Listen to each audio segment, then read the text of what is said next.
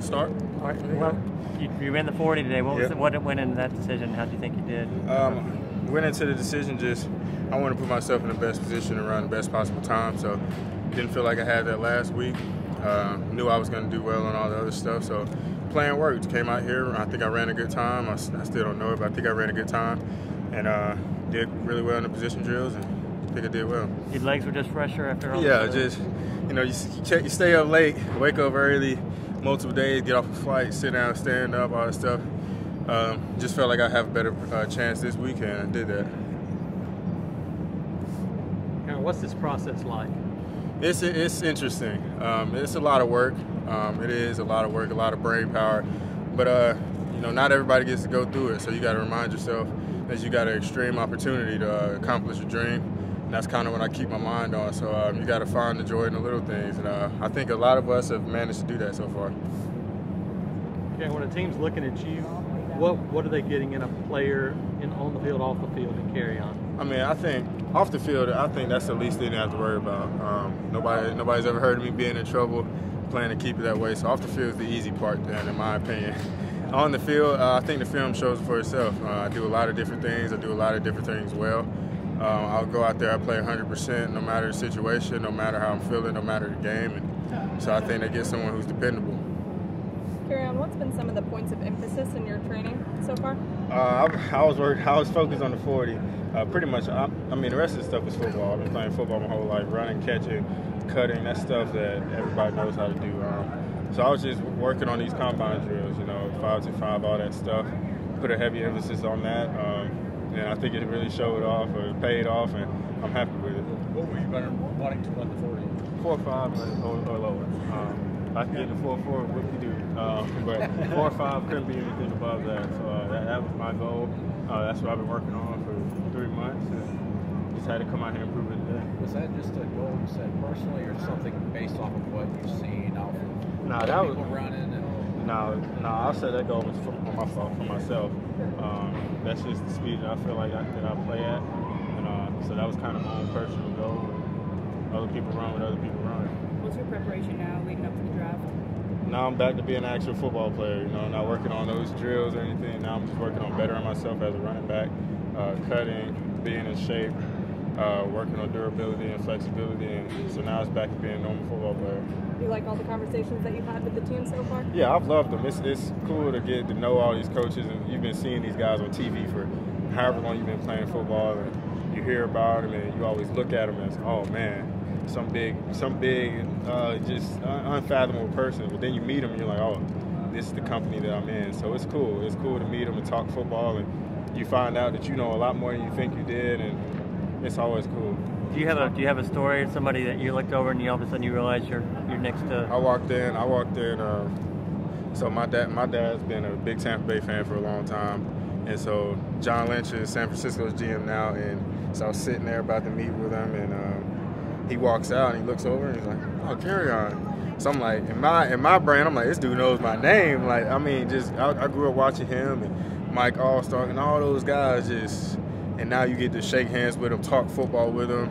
And I mean, it was, and then I got to meet John Elway, and he introduced himself, and I'm like, I, you don't have to introduce yourself, dude. You're, you're just, everybody knows who you are, and um, so just those meeting people like that, it's just crazy. It's really, it really is crazy. you've talked to all these teams in the combine here. What's one of the top things they bring up to you? Like maybe they're concerned about or they question the most about? Uh, I mean, I think everybody always goes with the durability question. Um, and so we talk about it. Uh, teams are a lot more willing to listen and understand than people outside of football are. Um, I mean, bottom line is playing SEC running back for three years, I missed three games. I mean, that's that's bottom line. Uh, not many running backs can say that to come out of this league. So we, we talk about it, we diagnose it, and we move on. I know this is off topic, but what do you think about the guys Auburn's got coming back and running back? I mean, it's five guys that say it's wide open. Haven't Oh, been like yeah. that in a while. It's wide open, but I, I mean, I think, in my own personal opinion, I think we have a chance to play four or five, and I mean game in, game. If all those dudes stay healthy, I think we've got a chance to play four or five running backs whole year long. All those guys are very talented. All those guys are willing to work. And so you've got a group like it hasn't been like that since my freshman year. I mean, we've had three or four running backs on scholarship, and that's been and one of us will be hurt um, at different times. So I think they've got a real chance to play four or five, and I think I think they have a real chance to be really good. So maybe something more along the lines of hate to say it, but like Georgia. What they Yeah, yeah, it's something, something around. I mean, I mean, I don't care. I mean, it's something to say. They've got, they've got a stable. Um, I, I think we can, we can get to something like that. Um, it's just one of them eventually is gonna have to step up and say, "Hey, I am the lead dog."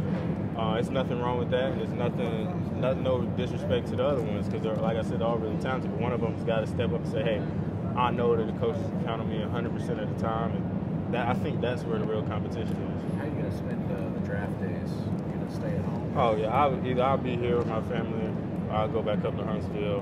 Um, haven't really made that plans because I haven't talked to my mom yet, so you know how that goes. But um, I- I'll be doing something with friends and family and uh, just having a fun day. You know, um, that's a day that we could all remember. A lot of my friends hopefully be there uh, next year. You know, we can come back and do theirs too. Carry how do you, how do you want to be remembered by Auburn fans? I think the way that they are going to remember me. Um, you know, I brought a lot of heart to this, this school. I brought a lot of heart to this football program. Um, nobody can ever say I went out there and didn't give it 100%. So, uh, and to me, that's all that matters. You know, maybe could have won more games, ran for more yards, but giving giving my all for this team, this this Auburn family, is that that's the biggest privilege I've had. Carry. I know you probably already asked about this. We were talking about the 40 yard dash. When you when you crossed your first time, how did how did you feel in that moment before you knew the time? I felt pretty good. Um, I felt pretty. I just felt like I could have finished a little bit better.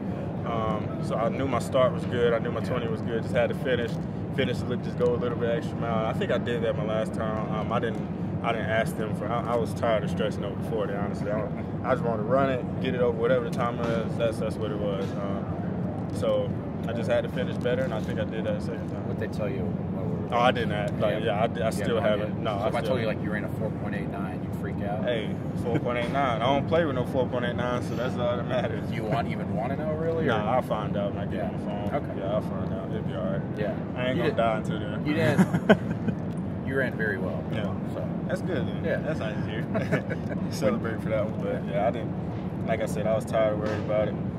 Run it, get it over with. yeah. When you put up the numbers you did at the combine and the drills you did other than the bench, I get it, you have Mhm. long arms, I understand. But when you put up an, in- a vertical an inch shorter than Saquon, and or, um, Mhm. what was your reaction when you started seeing the results, how they compare, how they match up? I already knew I could. I already knew I was going to do good at that stuff. I wasn't worried about that at all. I've always been explosive. I've always been able to jump. So, uh, you know, just because other people weren't expecting that out of me, that didn't mean I didn't expect it out of myself. So, I did. I was going for 42. Um, I was really going for 42. Um, then if I had if I, if I had another jump, I probably could have got there. Um, but it is what it is. 40 is okay. So, I already knew I was going to get something around that area. When you have, a, I think you have the biggest wingspan Mm-hmm. among any running back at the combine this year. How much added benefit do you think that is for that guy coming out of the backfield catching? The, I guess uh, I'm not. I'm not a coach, so I don't really know how they view wingspans. They might view it as a bad. I, I, I really don't know, but um, you know, like you said, I guess catching balls, um, that helps. I guess uh, pass blocking probably helps um, a little bit. So um, I think it probably does have more benefit than harm. Um, could affect the bench press if they want to view it that way, but I don't really care. Uh, I'm not gonna be bench pressing anybody all day, so it is what it is.